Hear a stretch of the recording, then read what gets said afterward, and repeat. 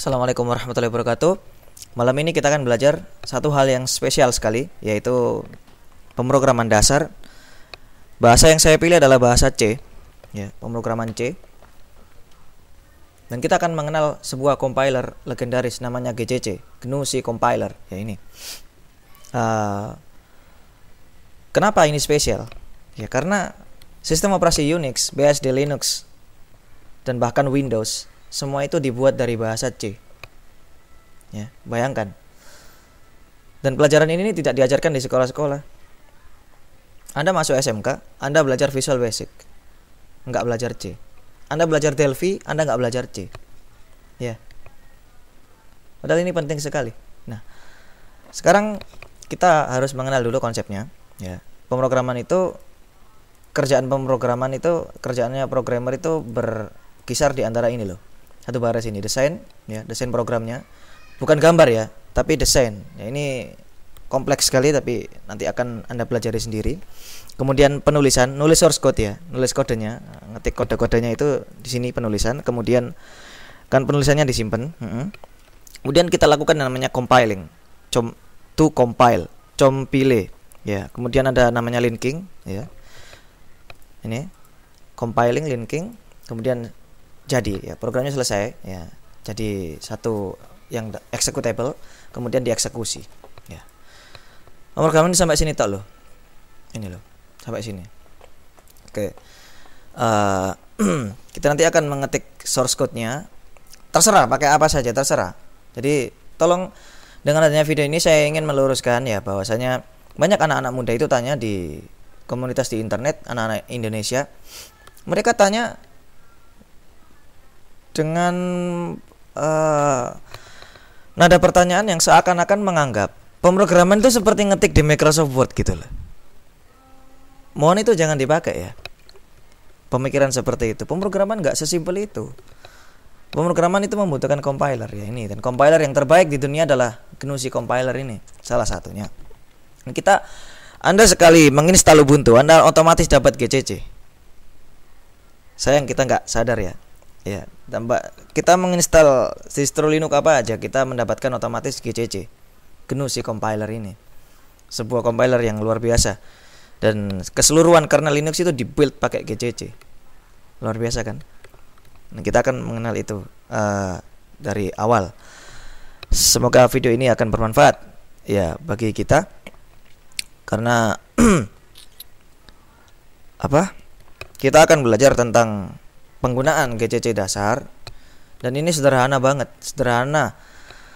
Dan video ini tidaklah sempurna, bukan yang terbaik, tapi semoga jadi pijakan awal bagi Anda yang sama sekali belum pernah kenal pemrograman. Ya, kita akan mulai ya. Uh, langsung.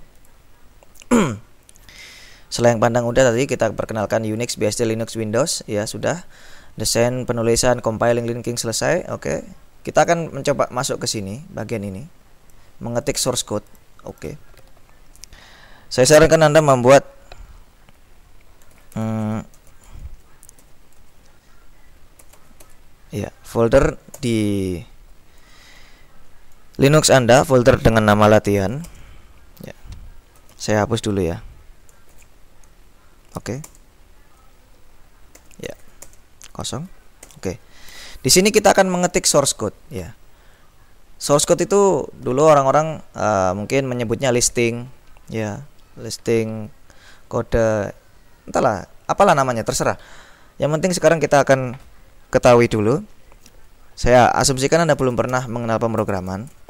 Anda boleh mengetik pakai program apa pun, Notepad, Notepad++, WordPad. Kalau di Linux Anda pakai Gedit, atau mungkin Kate seperti saya biasanya. Atau di sini saya pakai terminal ya. Anda boleh pakai nano. Nano. Nano kan gampang pakainya ya.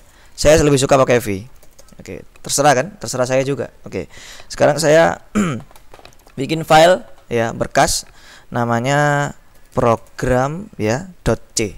Oke .c. Kenapa? Karena ini bahasa C ya. Gitu. Sederhana aja kita nggak akan belajar tentang aturan-aturan penulisan kodenya. kita akan belajar tentang GCC, GNU compiler ini. Oke. Jadi saya akan ketikkan kode balik sederhana. Anda boleh mengikuti saya. Ya. Include std standard input output .h. Ya, enter. Ya, kita pakai int ya, nggak void. Ya. Tolong Anda yang menggunakan Windows uh, jangan menggunakan kebiasaan void ya. Kalau untuk main. int main. Ya, buka kurung print f. Nah. Ya. Ya maksud kode program saya hanyalah mencetak tulisan hello world gitu aja. Hmm, ke layar. Oh maaf maaf. Ada yang saya lupakan nah, cuma dua baris tok kodenya. Oke. Kode utamanya ini nah ini cuma 6 baris ya. Ini sudah mencakup dasar-dasar C juga sederhananya. Uh, ya. Sekarang saya simpan ya. Kalau di V ini saya pakai W key ya untuk nyimpen dan quit. W write key quit. Oke. Oke kita lihat ls ya ini programnya program .c berapa ukurannya? Ls main l ukurannya 71 byte Oke, kecil ya. Memang kecil isinya sedikit. Sekarang kita coba ya. Masuk ke sini sekarang. Masuk ke bagian ini. Sekarang uh, saya sebentar. Masuk sini berarti bold, oke. Okay. Sekarang kita coba. Kita nggak perlu baca mannya dulu. Kita langsung aja. Gcc program.c apa yang terjadi? Ya. lihat. Posisi saya ada di sini. TMP ya folder saya TMP latihan. Anda terserah mau ngikutin saya atau enggak. Yang penting Anda tahu posisi Anda di mana. TMP latihan ya. Foldernya di sini.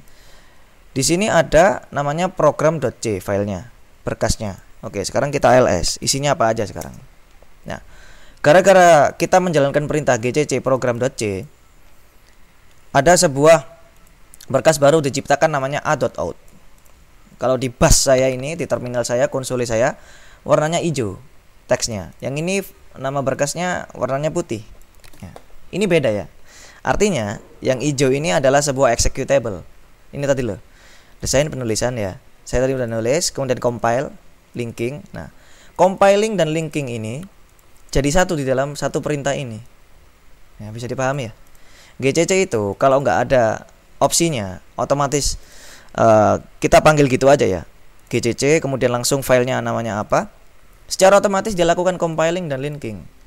Dan sebelumnya dilakukan preprocessing. Nah, ini bahasa-bahasa pemrograman. Uh, bahasa-bahasa di dalam pemrograman Anda nanti dulu lah pelajari itu. Yang penting Anda terima dulu. Ini ada compiling dan linking bersamaan sehingga otomatis hasilnya adalah sebuah executable. Kalau hasilnya executable berarti kita bisa eksekusi nah cara eksekusinya gimana? Kan ini terminal.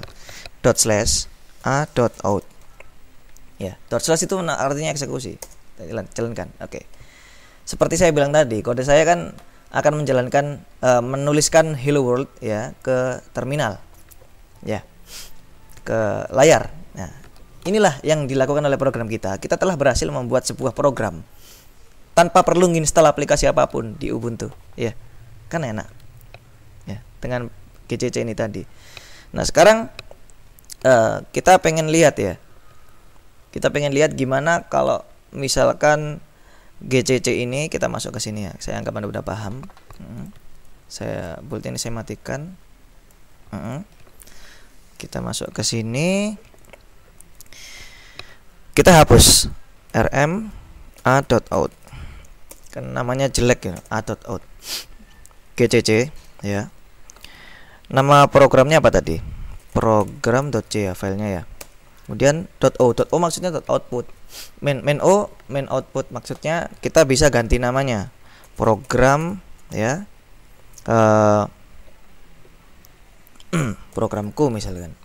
Kita ketekan enter. Dia akan melakukan hal yang seperti tadi. Compiling ya linking. Kemudian dia membuat sebuah executable di sini terjadi. Kita ls oh maaf maaf maaf. Keliru keliru. Ya di sini. Ls nah seperti yang saya perintahkan dia nurut ya. GCC programnya namanya apa? Filenya berkasnya program.c di kita compile dan link menjadi programku. Nah ini programku. Kita coba ya jalankan. Slash programku. Ya oke. Okay. bisa dijalankan. Nah di dalam uh, istilah-istilah ini executable programku ini kalau di Windows kita kenal .exe ya akhiran .exe itu nggak berlaku di Linux. Kenapa? Karena Linux mampu membedakan pro, uh, suatu berkas ya suatu file nggak ngelihat .c, .h, .exe, .msi nggak melihat itunya. Tapi dia bisa melihat jeruan berkas itu menentukan dia executable atau bukan. Ya. Sehingga dia bisa di sini kita nggak kenal namanya .exe nggak kenal. Ya. Tapi walaupun begitu bisa loh. Kita coba perintah yang tadi ya. Kita buat programku .exe. Walaupun maksudnya bukan exe exe Windows. Ini anda bawa ke Windows pun nggak akan jalan. Oke kita lihat. Ls nah di sini ada programku .exe. Dot slash programku .exe. Namanya aja yang berubah. Ya sama hasilnya oke hello world di sini nah kita apa mulai dari awal sampai sekarang di video ke-22 ini kita belum pernah mengenal pemrograman. Dan ini adalah pemrograman yang kita lakukan sekarang ya. Kita buka ya program.c tadi. Ini adalah langkah awal Anda mengenal pemrograman di Linux ya. Semoga apa yang saya bawakan ini bermanfaat bagi start Anda. Ini jelas-jelas tidak sempurna ya. Saya harus mengatakannya karena hanya sekian. Tapi semoga dengan ini Anda tertarik untuk mempelajarinya lebih jauh ya. Semoga ini bermanfaat ya. Wassalamualaikum warahmatullahi wabarakatuh.